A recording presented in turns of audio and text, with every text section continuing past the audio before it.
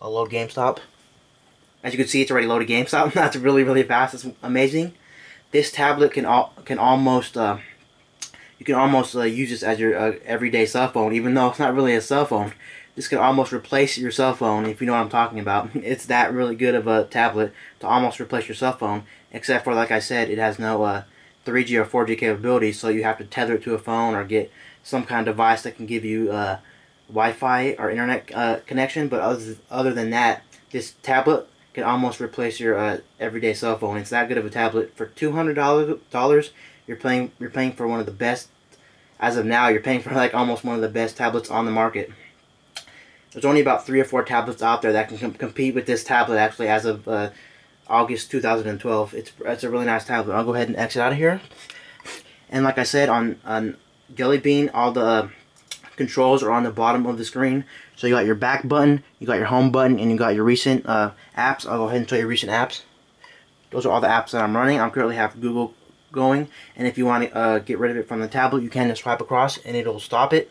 Whoops well it's already it'll stop it and there you go boom it's gone out the way and uh, one new thing in the Jelly Bean they did add what they did add a Google Now. I'll go ahead and uh, show you Google Now. You just hold down the home button and then you just swipe up and you got Google Now. It is kind of like Siri but not as robust as Siri. It does do Siri like things but it's not full Siri. It won't act like your friend or anything but it is pretty cool. I'll go ahead and demonstrate that. How old is Obama?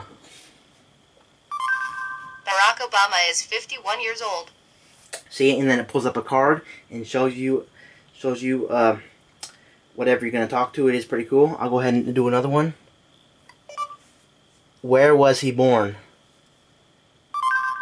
Barack Obama, place of birth is Honolulu. See, it does go, you can go farther than that. You can go in detail and stuff. It is pretty cool. But don't don't get too excited. It ain't fully functional like Siri. It can't act as your friend or anything, but it is a very cool experience. You do feel like you're using Siri on the Google Nexus 7, but not full Siri. I'll go ahead and do something a little bit complicated where it can't actually find it can't actually find an answer for it.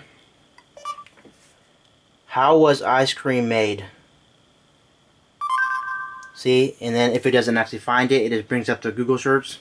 I'll go ahead and do one more because it is a Google tablet, of course, and it's centered around Google application, so it will bring up Google uh, search bar if it doesn't know the answer. Who invented basketball?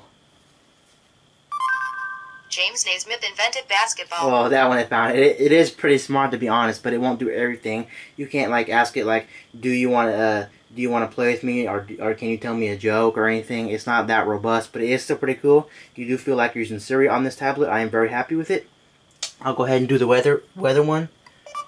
What's the weather like in Dallas, Texas? It's 92 degrees and cloudy in Dallas. It is a pretty cool experience, honestly. Not many Will it rain tomorrow in Dallas? Yes, is expected tomorrow in Dallas. See, it is pretty cool. And one cool thing about uh, Google Now instead of Siri, it sounds more like a person talking than an actual robot. Like Siri is a little bit clunky, but on here it does sound more like an actual person talking. They did try to fix that in uh, Jelly Bean. When they made their version of Siri, it does sound more more natural, like you're talking to an actual person in real life, which is kind of cool. I'll go ahead and back out of there. I'll go ahead and show you the Google Play Store. Here's what the Google Play Store looks like. Like I said, they did add uh, apps, musics, magazines, movies, movies and TV, and books. So you can now uh, you can now read books on here, and you can uh, you can get movies and TV straight from one store, which is nice. They're not one separate stores; they're all one store. It's not like the App Store where you've got the App Store and then you got the, the iBooks or something where you can get uh, books. It's not like you got the App Store and you got iTunes too to get your music and stuff. This is all in one app, which is really cool. So you got apps, music, like I said, all this cool stuff. Right out the gate, it's nice. And uh, when you get this tablet, they do give you a, if you do, I think if you do buy from Google, a store, actually, you do get 25 free credit to spend in the store. You can get this tablet at Walmart and GameStop. I know those two carry this tablet, which is really nice.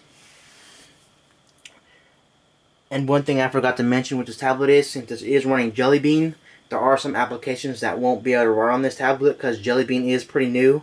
And uh, there are some applications in the App Store that won't work are the Play Store that won't work with Jelly Bean, but 99% of the apps are apps I've tried at least work with the with the Nexus 7 tablet.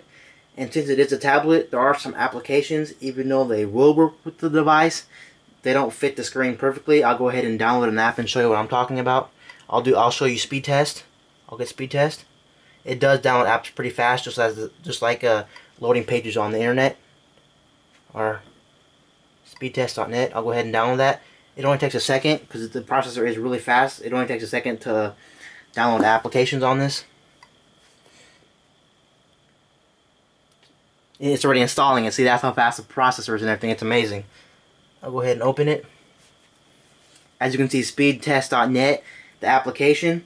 Anyway, it's not um, anyway, it's not full screen. It is, it is a little thing in the middle of the screen. It's not currently full screen. Some apps are kind of clunky. They don't. They're not really meant for uh, the tablet. They're more on the uh, phone style. They're, some of the applications you download are both for phone and tablet. They're not really made for the tablet, so they do look weird. But most of them do look right and they do work good. They're just not meant for the tablet, like the iPad. Some of the apps are just meant for the iPad to take advantage of the screen and the capabilities, but some of that's not bad though. I didn't counter many like that.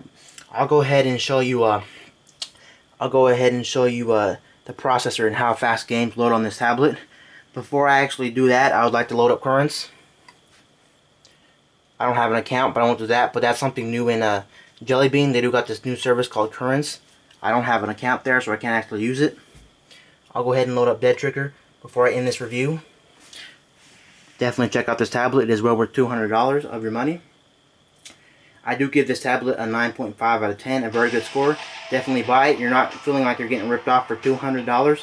It, like I said, this can replace almost any cell phone. It is a pretty good processor. It is a very good tablet. I just wish it has a 3G or 4G capability, but I understand what Google's going through. They don't want people changing up their system. They want it to feel like full Android operating system. And the camera won't do it. The camera on here won't actually do it justice, so you probably won't see the full resolution of the screen. This is a, a FPS shooter, but anyway, it is almost 360 graphics like, but like I said, my camera probably won't do it justice. You'll have to see it in person to believe it, but it is a very, very good game. It does look high def. It is amazing.